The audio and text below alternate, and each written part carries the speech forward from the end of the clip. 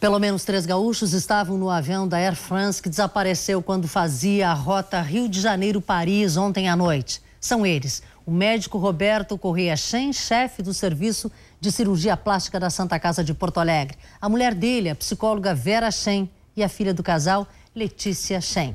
As informações foram confirmadas nessa manhã pelo filho de Roberto Chen, o médico Eduardo Chen. A família havia partido de Porto Alegre por volta do meio-dia de ontem, com destino a Atenas, na Grécia, onde ficaria durante um mês. Segundo a Air France, a aeronave mandou uma mensagem automática pouco depois das 11 da noite de ontem, informando sobre uma pane elétrica. O aviso teria sido enviado depois do Airbus ter passado por uma área de tempestade. As buscas ao avião mobilizam equipes no Brasil, na Europa e na África.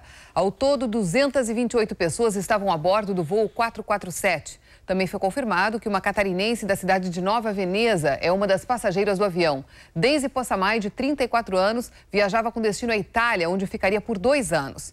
Outras informações ainda nesta edição do JA.